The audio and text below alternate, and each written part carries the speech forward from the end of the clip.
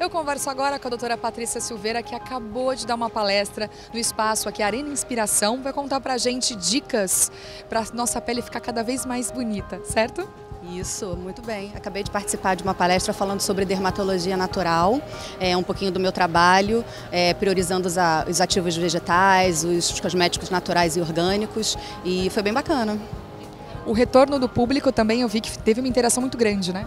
É, eu acho que o interesse pelo, pelo, pelos cuidados da pele, assim, de uma forma mais natural, é, um jeito mais é, orgânico de cuidar da, da pele, da saúde, é, só tem crescido, né? A feira cresceu nos últimos dois anos e, e o interesse das pessoas também.